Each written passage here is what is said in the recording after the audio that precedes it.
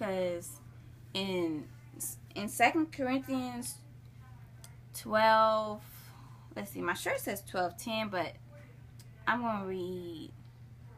Let's see, nine. But he said to me, "My grace is sufficient um, for you, for my power is made perfect in weakness." What? Therefore, I will boast all the more gladly about my weakness, so that Christ's power may rest on me. That is why, for Christ's sake, I delight in weaknesses, in insults, in hardships, in, pers- in persecutions, in t- difficulties. For when I am weak, then I am strong.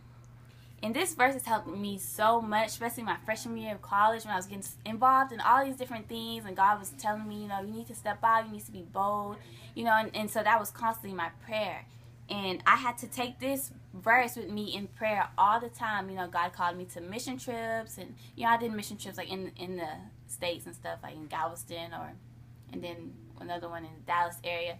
But He called me. I had to keep this um, verse in prayer all the time for God to, you know, because I saw sh- being shy, being quiet as a weakness. It's something that I hated, and so God had to help me turn into, you know, something beautiful, what it really is, who God really created me to be, not the shy, scared, timid girl, but you know, um, laid back, um, chill, gentle, and easygoing, um, very soft spoken, but bold and um, courageous.